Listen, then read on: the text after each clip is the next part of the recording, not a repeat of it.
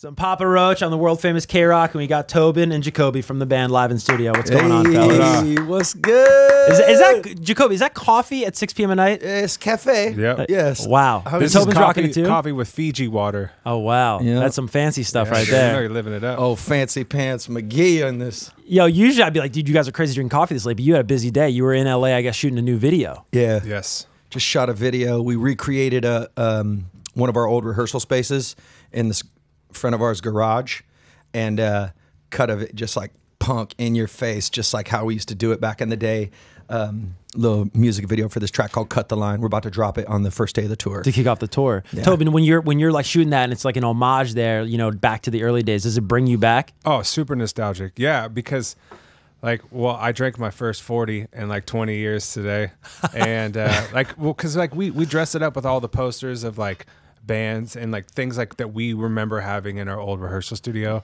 So we had like Mr. Bungle posters, Social D, Bad Religion, Yeah, like, man. Fugazi, like all the stuff that we grew up on. Wu-Tang. Wu Tang posters, flags. Rage. Yeah, Yeah. It was Wu- just like, It's cool. crazy. And you guys just celebrated the 20th anniversary of Infest, I think, what, like a year or two ago. Oh yeah. Yep. And that was a crazy record. I think, I, from what I've gathered, right? Like, like Last Resort goes crazy, and then you guys are kind of almost forced to like piece together that record, to kind of put it out in like no time, right? Well, so the story the story is um, we we got a demo deal with Warner Brothers, and we recorded Last Resort, Broken Home, Dead Cell, and a couple other songs, and then our the A&R had gotten fired, and we're like, oh god. So we sent the you know Warner Brothers got the demo, and they were like, ah, we don't hear it, we're gonna pass.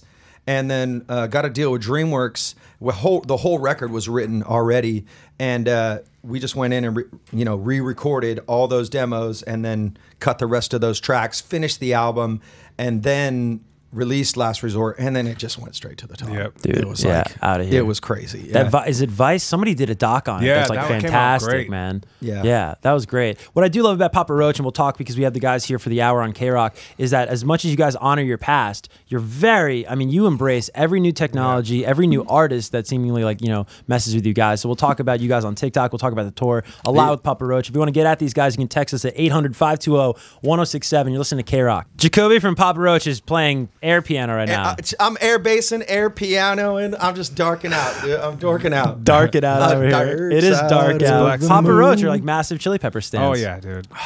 I'm Love a some- pepperhead, bro. Yeah. I think I think it's like it's. I'm at that point right now where I need to get a Chili Peppers tat. Really? Like, I think What would a- you get? Would you just get the logo, or what would you get? The- the I- I would- original logo, yeah. I'd just get like a, a, a chili pepper on fire.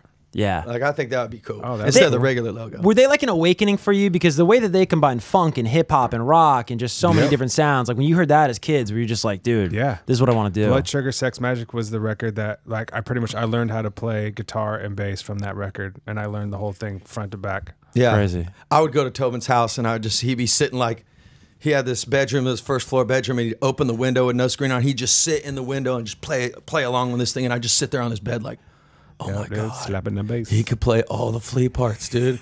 like, are you sure you don't you want to be in you want to be in the band with us, right? Yeah, we did a we did a pretty epic tour with them in Australia back in 2002. It was Yeah. like Chili Peppers, Iggy Pop, like Yes. it, was, it was crazy, dude. It It, was was, it was stadiums. It was insane. it's insane. Yeah. insane. Dream come true. And then and then the record company called us and they're like, "Listen, guys, you need to cancel the last four dates of the Chili Peppers tour and come home and get in the studio with Pharrell Williams for the Biker Boyz soundtrack." And I'm like, "I am not leaving Australia with the Red Hot Chili Peppers."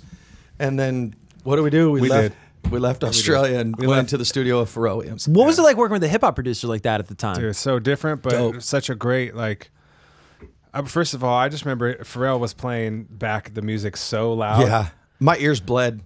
But it, yeah, dude, like so we we did a track with um, will.i.am from the Black Eyed Peas. Yeah. We did a track with Pharrell, and that was like our first big taste of working with like the and they're dude. It's just a different level. It's just a different experience, but they're just so talented. It's Yeah. so Yeah. fun to work with. It was a great experience for us, a learning experience and just a good time. Yeah. And especially, it's like, you know, years later, it's like I'm watching NERD out in like Lowlands Festival or, or no, Pinkpop Festival, and I'm on side stage and Pharrell's over there singing. He looks over, he's like, hey, what's Yeah. up? I'm like, yeah, dude. Haven't seen you in like 15 years, but good to see you, bro. Yeah, totally. Yeah, man, it's cool. But you know, it's funny. We had Shavo from System of a Down on the show on Tuesday, and we were talking about what makes their band unique from other uh, contemporaries. I think what makes you guys unique is that that openness. Whether you were going to work with Pharrell or even Oh, yeah. like modern day, right? You guys are all over TikTok with Yeah. the, with the with the uh, with the antics, with the skits, and then even working with Sueco or working with Jeris Johnson. Yeah. Where does that openness come from? I mean, for us, it's like we're always embracing what's coming in the future. It, it helps us stay relevant. We have a passion for uh, creating music that is current and uh, that will captivate the youth. That's the goal. Mm-hmm. And uh, it, we utilize TikTok as, as an avenue for that. You know, Yeah. we saw that kid Jeris, he just popped up, and I kept getting these texts like from these people, hey, check this out, check this out. And then we were in the studio cutting uh, uh, drums for the record we're about to drop. And I was like, yo, I hit him up. I hit him. I slid in DMs. I'm like, "Hey, bro, come down to the studio, dude. Let's hang." And so he came down, and I vetted him, and I was like, "This, he's a real one. What's up, dude? Let's let's take this track to the house." And ended up uh, finishing up the track, and then we shot a video, and now it's like he's one of our buzz. Like, Oh, totally. He's our people, and and Sueco, same thing. Like we saw him popping off, and uh, you know, he's just he's he's one of those up and comers that's got like he comes from the punk scene, he came from the hardcore scene, but he had this crazy rap track called Fast, Mm-hmm. but it's like his heart was in rock and punk, and uh, we hit him up. Our producer Colin was actually working with him on a couple other tracks, and hit him up, sent him this track Swerve, and the next thing you know, it's like we got Jason Alon Butler from Fever on the track. With P Roach and Sueco, it's like pff, triple headliner. Let's go. Yeah, ill Let's see. video too. You can check out on YouTube if Oh, you yeah. listen to K Rock Yes. right now. I mean, we convinced we've convinced Sueco to get into a, a, a, a what like a little kiddie Yeah. pool Yeah, in the did at one video. He didn't know what he was getting into when he showed up. Yeah, it's crazy. we got more with Papa Roach coming up on K Rock, including the tour that's about to kick off. Keep it locked. It's K Rock. It's Papa Roach. Yeah. As you can hear, What's up? Kevan Kenney. We're in the house. And we're having some crazy conversations off the air. We got to, we, Yep. you got to, Tobin, you got to tell me. We're kind of talking about what we're watching these days, and everyone's watching the Kanye doc, which is incredible on Yeah. uh, on Netflix. And your stepson is in the doc. And are you in the doc? Yeah, I'm walking around in the background. Someone just sent me a video of it and they're like, check this out. And I was like, what? I actually don't have much of a recollection of it, but I remember being in the studio when we were doing that track with Pharrell. Yeah. I think Kanye was there. He was just getting started doing college dropout. And yeah, there's a clip of him talking to my stepson Aaron and there he's like, you know, he was just hyping himself up to the Yeah. youth even back then. He's know? letting the kids know. Yeah. That's just trips Crazy. me out. I watched it. I'm like, oh my god, that's Aaron when he was seven. He's so Yeah. cute. Dude, crazy, trip. crazy timestamp. We just got a uh, question from uh, five six two area code. Uh, basically, this person is listening. His name's uh, Robbie, and he's about to drop his first ever song. It sounds like from his punk band, Oh. and he wanted to know your guys' uh, recommendation on building and connecting with a fan base. Which I mean, you guys have been so amazing at. What would you say? I mean, you know, we started out doing fly. We go flyering back in the day, but I think those days are over. So it's like just getting out, just pop it off on TikTok, man. Go to a coffee shop, play at the coffee shop, play every play every show that you possibly Yeah. can. That's the that's the deal for me. And Yeah, do like- do all that fun underground stuff, and then just you know make connections with other artists and friends, like like minded people, and Yeah. it'll it'll build. It you know it might be a slow build, but it'll be a good one. were you guys skeptical of TikTok at first, or were you like, oh dude, he- you, you- yes. I was like, what was the what was the moment where you like switched it for you? I was uh, sitting in a room with Jeris Johnson, and I was like, I was like, I don't know about this TikTok thing, man. Our management keeps telling us like, y'all need to get a, you know, get on the platform and start doing your thing. And I'm like, I just don't want to be like Dance Monkey, like you know, it's not my thing. And and Jeris was like, that's not what it is, dude. Like, just imagine TikTok's a stage. How do you want to use the stage? That's it. And I was like, Totally. oh, you just do your thing. And so, you know, we get on there, we jump on some trends and do that stuff, but then we also just have fun and just create. And it also, uh, I think it's a good outlet for the the humorous side and the lighthearted side of who we are as people because we don't always always take ourselves so seriously. Well, you, know what I mean? can, you can. Yeah. The ones that Yeah. do, I don't think last. It's yeah, It's like you got to be able to take the piss out of yourself and laugh at yourself every once in a while. We're Yeah. plus we're in total control. It's like we're we're on record label now, so whatever Yep. we want to present, we just You got the a freedom to, direct bro. connection right there. I want to congratulate you. The sold out show kicking off the North American tour Tuesday, March 1st, back, House of. Blues, Anaheim. I'd love to plug tickets, but I think it's sold out. Yeah, sold out. Sold out a while ago. Sold out right quick. I was like, yeah, if you want to come to this one, it's, we did an underplay to kick it off because it's like the first show back in a long time for us, and you know, it's just gonna it's gonna be a great night. I really can't wait. And you know, we got special announcements. We're gonna announce the album title that day as well, as well as the album release date. And so that's coming. So a lot of cool things. We're actually dropping another song, uh, this track called "Cut the Line." We just shot a video for it today, and so a lot of stuff happening in the P Roach world that we're just so excited about. And you know, the feedback we've been getting about the new music from our fans has been really positive. So it's it's good. To, it's a good. It's a good time to be in a rock and roll band called Papa Roach. So Hell I'm, yeah. I'm feeling good about it. And then you guys are bringing out Hollywood Undead and Bad Wolves. How'd you land on those? Um, so we did we we were out on tour in Europe with uh, Hollywood Undead, and the rug got pulled out from underneath us, and COVID came crashing down, and the tour was it was one of our most successful tours ever.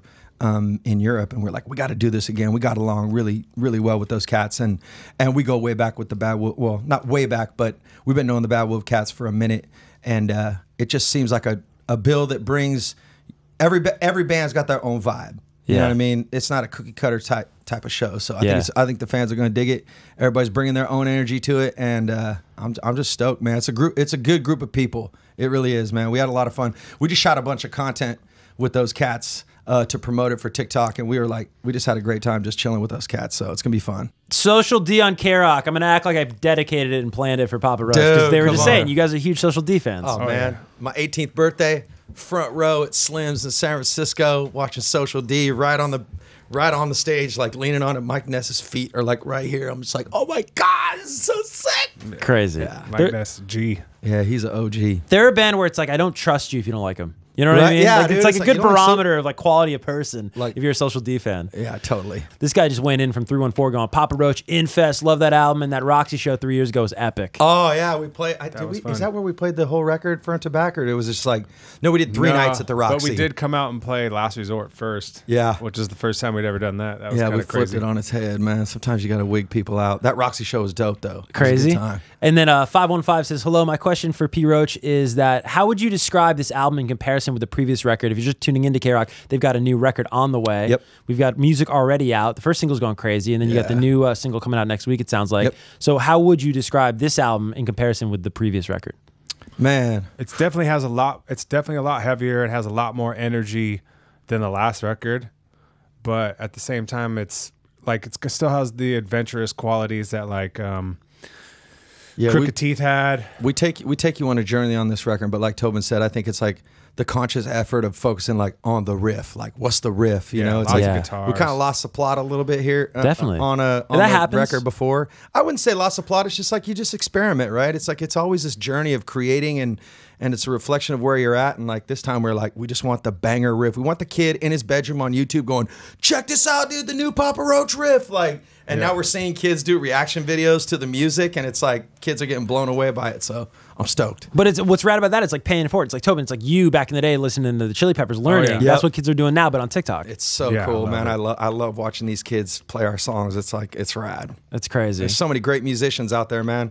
It's and it's Seriously. exciting for rock and roll, dude. Oh, Like, yeah. guitar sales are up. Oh, That's dude, good. dude, through the roof, man, through the roof. We got more of Papa Roach. We got to get to the next song here, but uh, hit us up 800 520 1067. It's K Rock. We're taking your questions, by the way. I should say listener questions uh, at 800 520 1067. And 515 wants to know it's Laney listening tonight on K Rock. You want to say what's up to Laney? What's up, Laney? How you doing? They want to know is uh, Kobe doing anything vocally different he hasn't done before on the new Papa Roach record? Yeah, absolutely. Um, there's a track on the record. Uh, it's one of the ba- it, we've never written a ballad like a proper ballad. And, Scars is uh, kind of a ballad. it ish. Okay. But this is like acoustic, broken down, and uh, the verses are like in a lower range for me, and uh, really exploring that part of my voice. And it's just like it's it's borderline, almost a little country in a way. Yeah, it's got some Okay. tumbleweed in there. I like that. There's I like that a lot. tumbleweeds and some dust flying across the scene, and it is like, it's. I- I mean, without sounding goofy, like this track will make a grown man cry. Like it's like that emotive. It's just like it just has that element to it, and I think that venturing into that space, I think our fans are going to love it. It's it's going to open us up to a lot of different fans. I think. yeah, Yeah, I'm so excited. trying some We, new- we don't know- have a release date, right? Uh, we have a release date on. We will tell you on Tuesday, first day of the tour. We're announcing the album. We're announcing album release date and the album title. Okay, right on. Yeah, so you know, fans can get on all of our socials. We're gonna pop it on all of our socials that day, and uh, but it's soon, man, and it's exciting. I was like, you know, Finally. waiting for a child to be born. It's like, can we just do this already?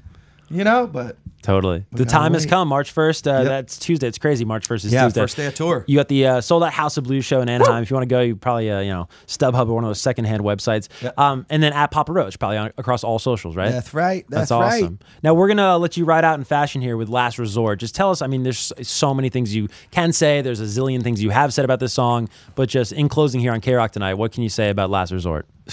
Timeless, Yeah, iconic. it's classic. So Like- never gets old. bands work their entire career to have a track like this, and it's like we had it on our first track. It's like it blows me away still. You know, Aerosmith got Dream On, Papa Roach, we got Last Yeah, Resort. man. And if you want to check the story behind it, like you were talking earlier, Yeah. the Vice, go to Vice on YouTube and the story of Last Resort. It's all there. Yeah, it's it, it's a great story. It really was. It was a great moment for us, and it it tells it straight to the point. It's really awesome. So this this track changed my life and many lives out there in the world. So here it Man. is, P Roach, Last Resort.